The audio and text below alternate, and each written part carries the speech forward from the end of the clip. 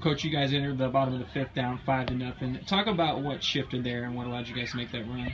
Well, I think it was just key for us to, to you know, to kind of keep uh, whittling away at them, just trying to, you know, keep hitting the ball, putting it in play, and then, you know, eventually they're going to make an error or somebody's going to make a mistake. So that was what was key for us. Get a couple base runners and then put a little pressure on them, and then saw what happened. We got a few runs there. We got back into the game, which got their confidence back up that they could hit him. So.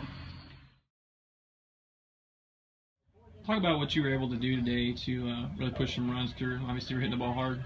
I knew he was a good pitcher. I played with him a few years. I had to hit the ball, show him, show him that I'm a hitter.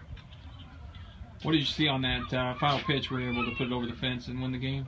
Uh, just stay short to the ball, hit it, try to get the runner in. Uh, you kind of watched it go over there. What were the emotions going through your mind? Uh, I knew that was a ball game. He made a mistake. Took advantage of it, huh? Yes, sir. Obviously, knowing Donovan as a power hitter, uh, were you were you pretty confident seeing him step up there? Um, Yeah, I figured at least if he didn't get if he if he you know I figured he would get a hit. I didn't you know I wasn't looking for him to hit one out.